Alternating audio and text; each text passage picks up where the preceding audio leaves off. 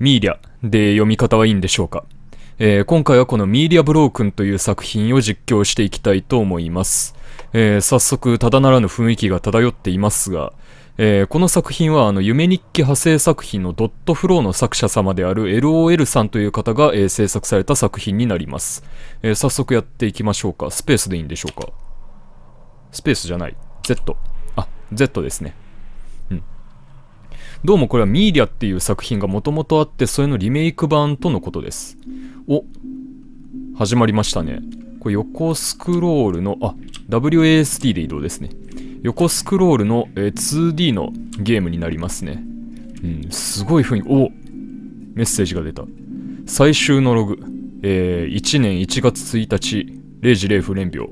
はい。なんだ？なんだ？ロバートの山本みたいな。なんだ？ってね あ、メッセージ来ましたね。えー、私たちが属する現実は彼女によって破壊されています。この現実は空であり、全てが彼女に統合されています。ほう。何やら難しい内容の メッセージが出てきますが。うん。彼女。ほうほうほう。何やら意味深な存在であるその彼女とやらが気になりますが。はい。うんに近づくことはいかなる状況においても許されません。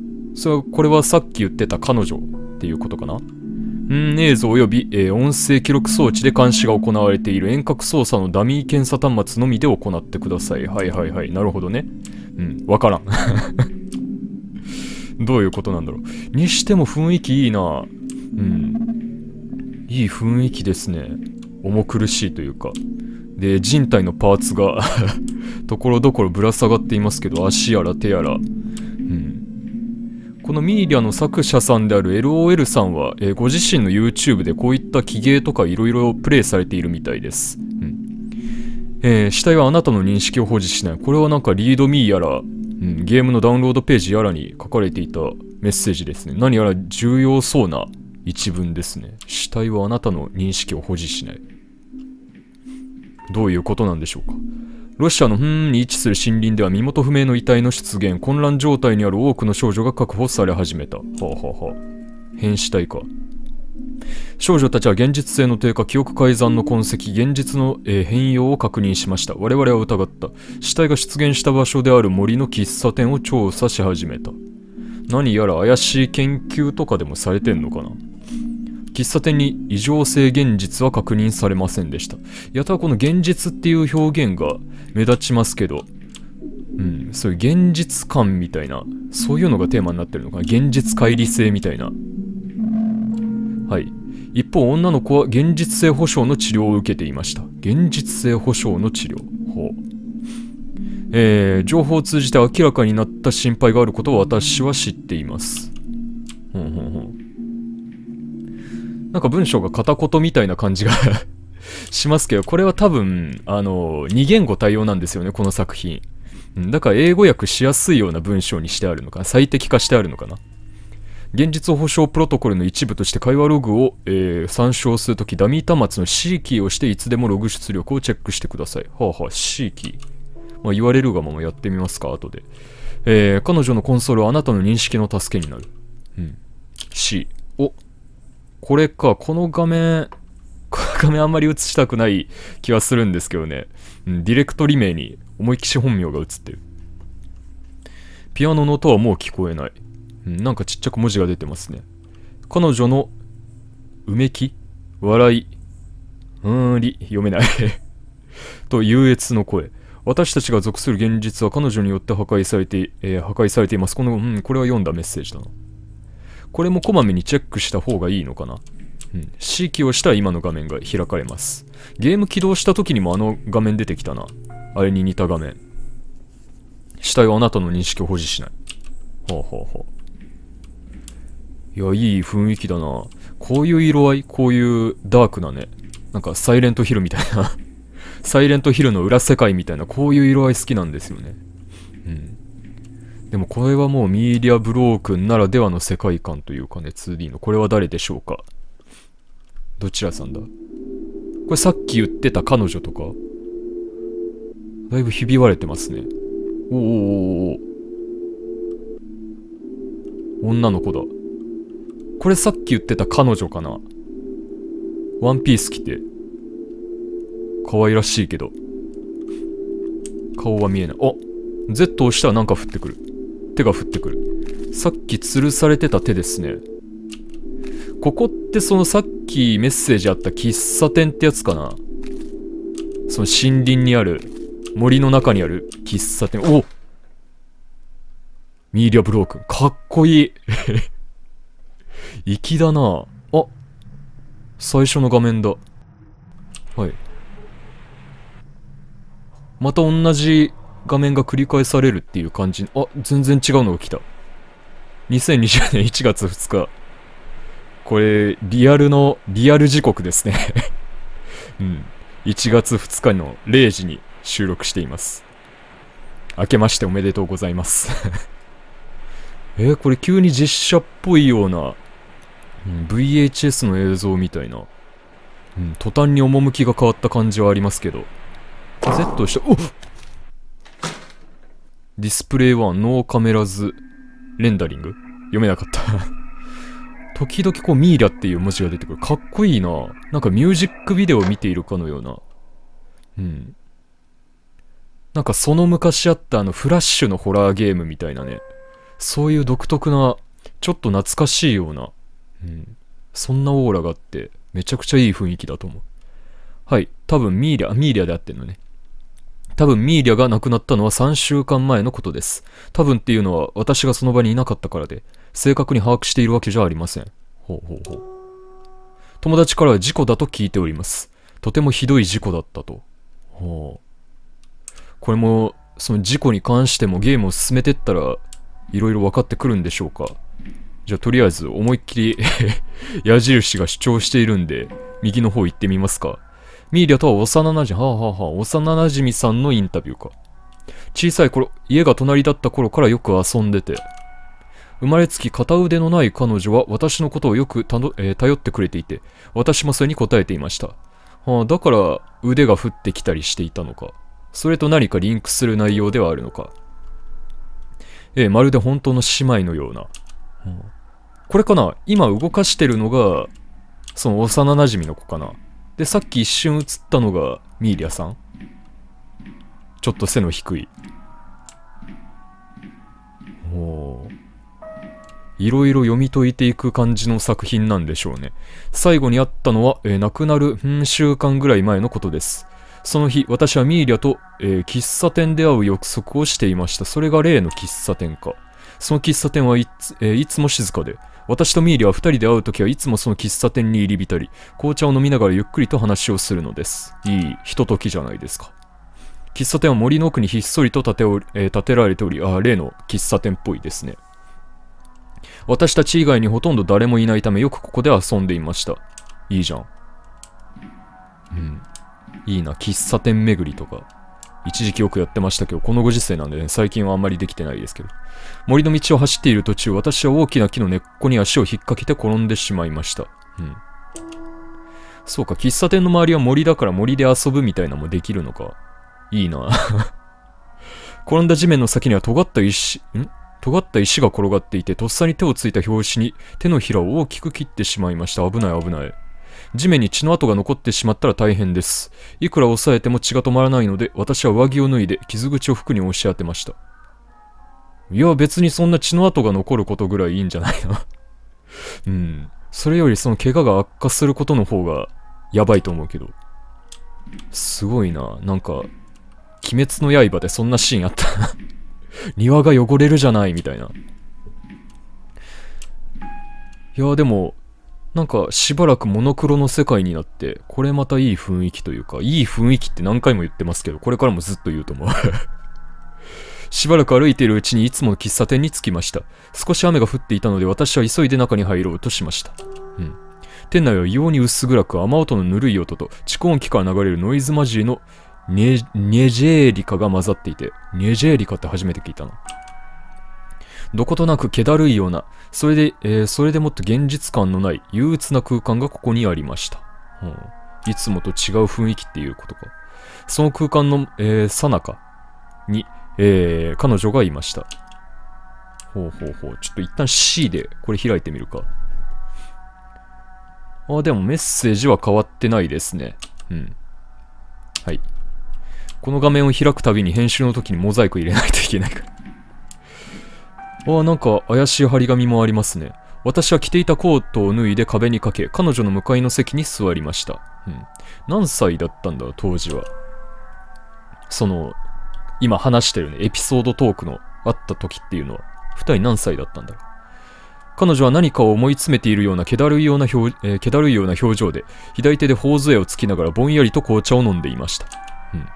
彼女は口についていたティーカップをゆっくりと置き、唇を開いて、はあはあはあはあ、かっこお元気と言いました。何語なんだろう。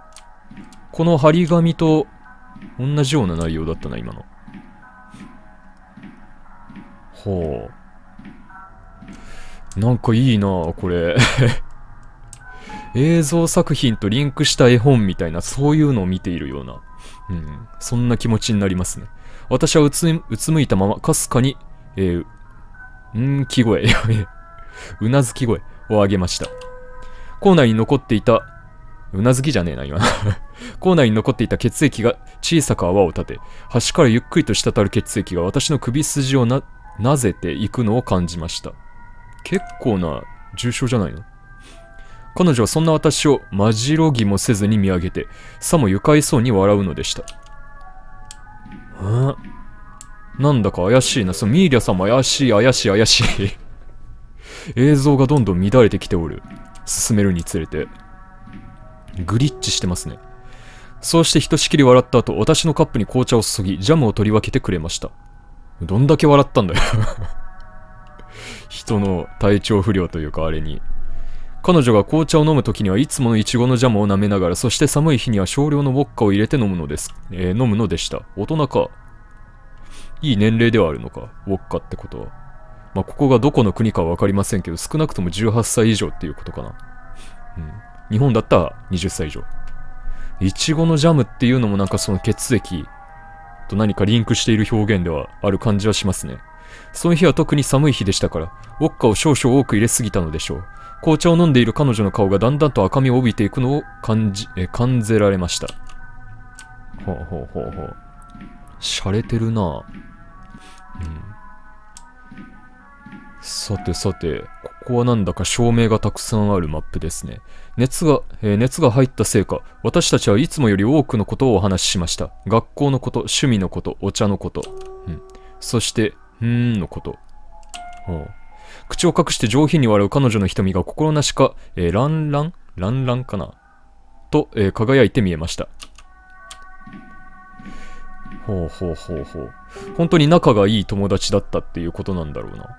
でもこれプロローグで彼女に近づいてはいけないみたいな、ね、そういう表現があったのもまた気になってきますよね。うん。今のところ穏やかなティータイムっていう そんな雰囲気はありますけど、メッセージを読む感じ。どれほどの時間が経ったでしょうか森はすでに、えー、暗闇に飲まれ、照明のかすかな光だけが明かりを照らしています。蓄音機から流れていた音楽はいつの間にか止まっており、店内は静寂に包まれておりました。机の下に、えー、机の下に転がる彼女の顔。ん？机の下に転がる？どういうこと？寝てるってこと？酔っ払って。だと一番平和な、ね、展開ですけど 月の光に照らされ濡れたように怪しく光っていました、うん、どうなるんだろうそろそろ帰ろうかと支度していた時です。建物の奥から何かを引きずるような、えー、奇妙な物音が聞こえました。ほう。胸騒ぎがしました。何しろここは私しかいない。私しかいない。物音などするはずがないのです。酔っ払って寝ちゃったっていうそういう平和的、平和的展開ではなかったか。とっくに死んでたってこと？いやでも亡くなるうん週間前みたいな表現もあったもんな。どういうこと？イマージナリーフレンドみたいな、ミーリアさんは。私は血の得た上着を、えー、テーブルに置き、建物の奥に足を進めました。あー、どういうことなんだろう。ミーリアさんが、ちょっとおかしい、おかしいっていう言い方もあれですけど、怪しいうん、感じなのかなって思っていたんですけど、逆っていう感じなのかな相対的な話なのかな主人公が何か幻覚を見ているみたいな、そういう展開だったりするのかな店,、えー店内は異様に薄暗く、店内に響く、んー声と、蓄音機から流れるノイズマジのネジェーリカ、ネジェーリカがわかんねえんだ。ネジェーリカがまず、曲名かな？が混ざって異質な空間になっていました。彼女は震える手で私の肩を掴むと不安そうな声で、もうやめようと言いました。ほう。私以外って言ってたけど、一応ミーリャさんは実態はあるのかな？ミーリャさん含めて自分たち以外にっていうことなのかな？どうなんでしょう、えーそれでも私は止めることができませんでした。彼女の潤んだ瞳がひどく愛おしく思えたので。はあ。はあとしか言えないな。異様な、うーん、うめき声は、えー相変わらず収まることがなく、それどころかかえってひどくなっていくような気さえしてくるのでした。その声をよく聞いて、えー聞いておりますうちに、それが地下から響いてきているということが分かってきたのです。この場所、この場所に地下があったなんて、そしてそこに誰かがいたなんて、私は背な、えー背中をゾワゾワと這い登る、えー這い登るような不快感を感じました。はあ、地下で何かがあるんだろうな。それこそ何か研究とか拷問みたいな。うん。地下への道は建物の奥におり、えー奥にありました。一番古く一番、えー一番暗い場所にそれは隠されていたのです。この喫茶店の店主さんはどこにいるんだ？地下にいるのかな？普段はいるのかな？普段からいないのかな？勝手に紅茶を飲んで、ウォッカ注いでみたいなことやってるのかな？無線飲食してんのかな？私は生まれつき片腕がありません。あなたも？あなたもなんだ。暗い中、足元に十分、えー十分注意して地下室を下りました。そして地下室の扉をそっと開けた時です。すっと首筋に冷たい感触を覚え、えー覚えました。はあ。なんだろうな。刃物、ん？刃物じゃなかった。ポツッと、えー雨が降ってくるのを感じました。水滴が背中を流れ、びっくりと頭を上げると、木々の隙間から、えー雨雲が空を、えー覆っていく様子が見えました。ここ地下じゃないの？森は暗く、雨,、え雨は白く、空は灰に、さながら雨,、え雨が色を流し落としてしまったような、ひどく重苦しい空でした。ちょっとね、今どこにいるんだ？階段を下っていって地下に行って、で、ポツっていう冷たい感触があって、見上げたら空があるっていうことは、吹き抜けになってるのかな？吹き抜けになってる地下っていうことなのかな？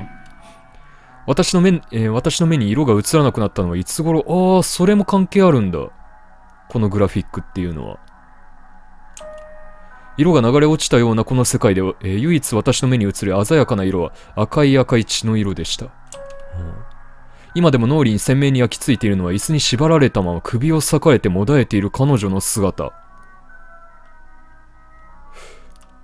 想像以上におぞましい展開だな。だから精神的な理由で色を失ったっていう感じなんでしょうかね。うん。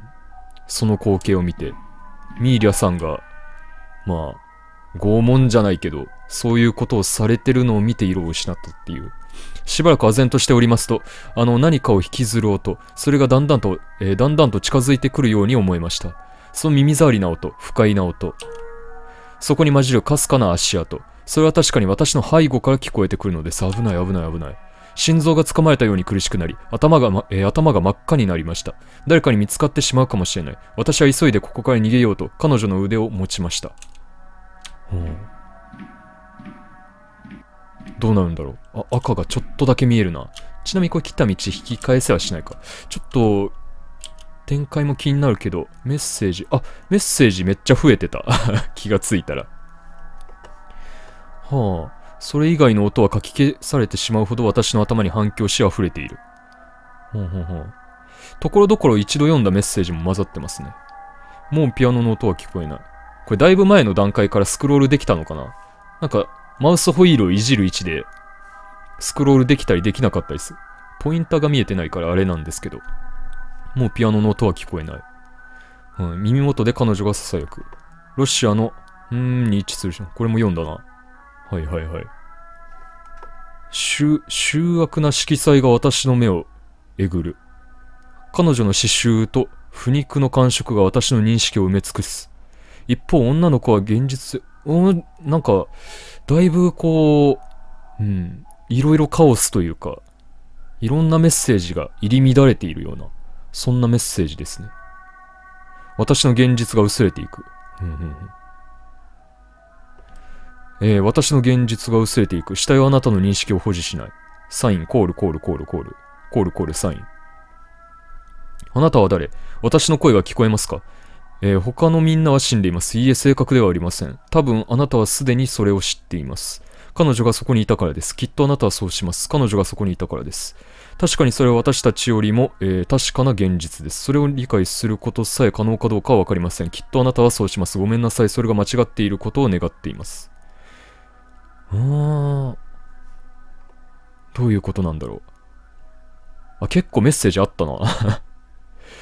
でも今まで読んできた、うん、読んできたログっていう感じですね。ここからは。うん。ニジェーリカ。ニジェーリカ、ニジェーリカ。あ、で、ここまでは、うん。読んだメッセージですね。ちょっと前のメッセージに、その、表示されてないやつが混ざってたりしていたっていうことか。こまめに開く必要ありました。あ、バラか、あの赤いのは。私の目はじっと見つめるか、私の目をじっと見つめる彼女の顔は逆光のせいかよく見ることができませんでした。病的、病的までに白い肌、えー、短く切り揃えた、えー、真っ黒い、真っ黒い髪。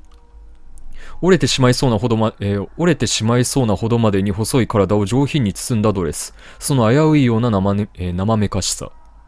おすごい好みだな そういうビジュアル。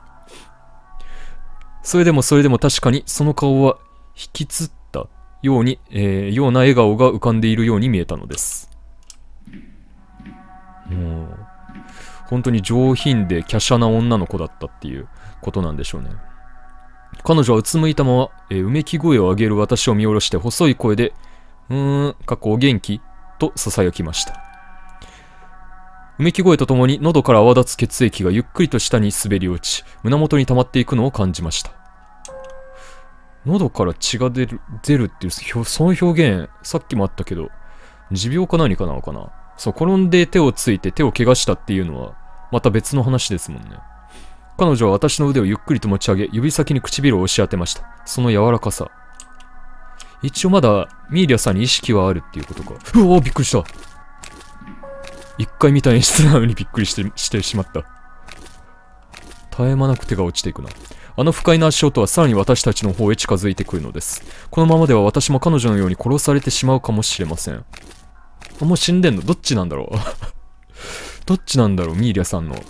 うん。生死の状態がわからない。私は地面に転がっている刃物を拾い、扉の後ろ,、え、後ろへと隠れ、息を潜めるようにしました。うん。そして足,、えー、足音が目の前まで近づいた、えー、近づいた時です。私は影から勢いよく飛び出し、刃物を振り下ろしました。おまあ、無事に出られるといいんですが、あ、今の段階では、メッセージは、ちょっと待って、どこだ？どこ、どこで？方向キーでもスクロールできないかな。これ以上戻ることはできないのか。まあ、とりあえず新しいメッセージはなかったようなんで進めましょうか。私はゆっくりと刃物を喉元に押し当てました。なぜ？刃物が喉に埋まっていく、えー、刃物が喉に埋まっていくうちに、泣き声は次第に、えー、うめき声と変わっていくのでした。死んでしまっては大変です。私は上着を脱いで、傷口を服に押し付けました。あなんか一度見たメッセージがところどころこう、ね、出てくるみたいな、その感じが、うん、この異様な世界観っていうのを強調しているような。突然目の前が真っ赤になりました。勢いよく吹き出す血が私の顔を覆ったのです。私は急に、えー、急に怖くなり、急いで店を飛び出しました。これはどっちの血なんだ？自分の血なのか、その喉元を刺した時の血なのか、その刃物を引きずる音、刃物じゃねえ、なんか引きずる音が近づいてきて自分がこう刃物を振り下ろして、その帰り血なのか。まあ、帰り血なのかな？私は急いで店を出て森の道を走りました。何度も転んでしまい、すりむいた手からは血が出ておりました。そうして家に着くとベッドで一人震えながら朝を待ちました。あの足音が、えー、追ってこないか、私を襲いに来るんじゃないかと。それでも何も起きませんでした。うん、で、今保護されてるのかなうん。そして一週間前のことです。ミーリアが死んだのと、えー死んだとの話を聞きました。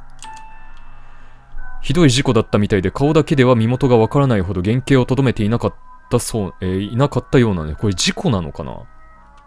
喫茶店で起きた事件じゃないのかろうじて分かったことは、その顔は引きつったような笑みを浮かべたまま息絶えているということでした。別件なの、やばい、すげえカオスだ、内容が。うん。まんまと、ね、作者さんの手の上で転がされているような。うん。エミーリアのことについては以上です。もう話すことはありません。だから早く彼女、えー彼女会わせてください。私は彼女の友達なんです。私はあなたのためにここまで話しているんです。これプレイヤーに対して言ってるパターンのやつかな。私たちはあなたの、ああ、ミーリア。はあ、ちょっとここいらで開いてみるか。うん、新しいメッセージはないな。新しいメッセージというか、うん、追加のログのようなものはないですね。一応こまめに開きはしますが。あいた。さっきも言いましたけど、察するにこれがやっぱりミーリアさんなのかな。えーいつもの喫茶店でまた会いましょう。うん椅子に縛り付けられて、どうのこうのって言った。あ、そっちなんだ。そっちなんだっていうのは。うん、喉元に、喉元が刃物を埋め、ん？喉元、喉に、今言えね。いいや。いいやいいや、もう。ミーリアちゃん、お誕生日おめでとう。